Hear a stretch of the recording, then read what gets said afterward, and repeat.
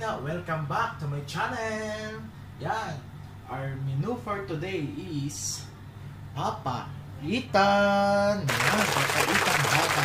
Meron tayong tuwalya, bituka, atay, puso, at hindi tayo nakakuha ng balls. You know balls? Testicles. Sayang, mas masarap sana pag may testicles. Alam na, yan. Tsaka, ito lang ang ating mga sangkap.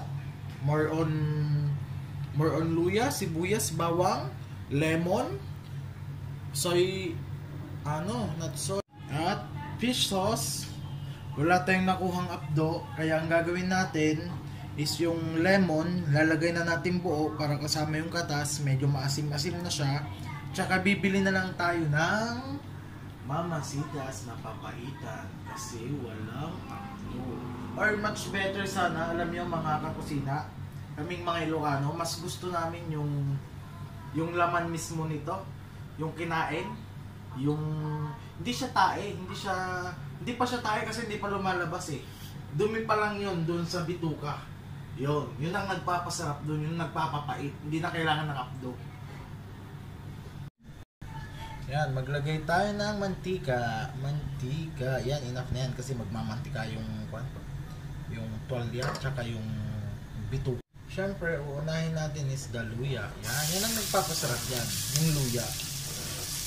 The more, the better, the testicle, the testicles. Ay, the testicles.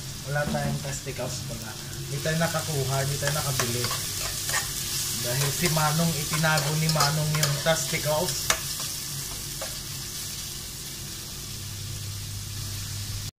Yan. Ah, pagsamasamahin na natin lahat. Hindi na mag, dito na sila mag-aaway-away. Yan. Ay.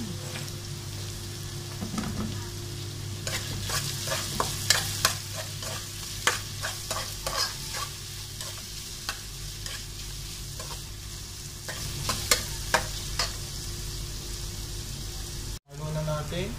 Hindi na sila mag-aaway-away. Pag-away-awayan na natin sila dyan lahat. Isang puluan na yan. Yan, gisahin na yan. Gisahin na yan. Dalian na yan. Ayan, gisahin natin for 5 to 10 minutes para sumarap pa yan.